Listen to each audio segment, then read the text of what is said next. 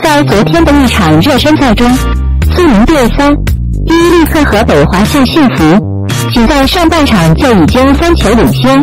在冬季的热身赛中，苏宁一场未输，更是取得了其中三场比赛的胜利。新赛季颇有一股大黑马的气势，在阵容方面基本未调整的情况下，这也说明了主教练科斯明奥拉罗伊对这套阵容的自信。新赛季他们的目标或许还将是争夺亚冠参赛资格。目前，苏宁阵中有五大外援，分别是特谢拉、埃德尔、帕莱塔以及拉米雷斯和穆坎乔。其中，就上赛季的外援配置以及昨天的热身赛首发来看，特谢拉、埃德尔以及帕莱塔基本上还是雷打不动的组合，而新赛季的报名只能有四大外援。拉米雷斯依旧很尴尬，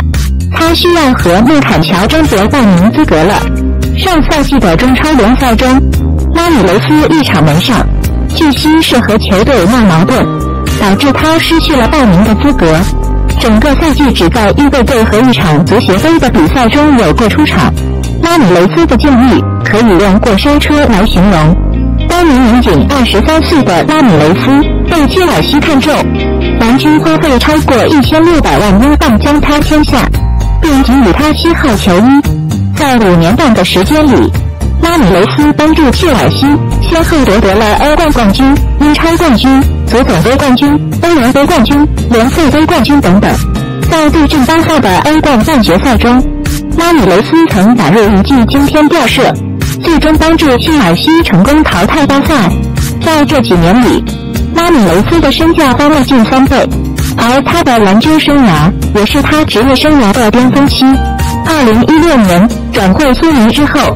拉米雷斯的延续了自己惊艳的表现，帮助球队取得了联赛亚军，并且在之后的亚冠联赛中大杀四方。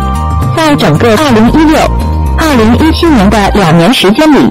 这位昔日的切尔西巴西天王。都是苏宁的大腿级人物，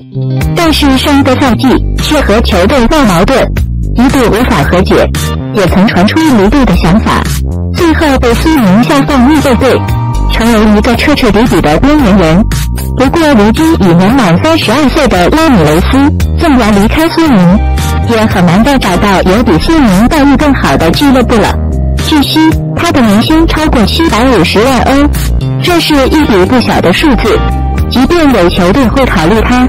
但是上赛季一场联赛未踢的拉米雷斯很难获得其他球队的信任。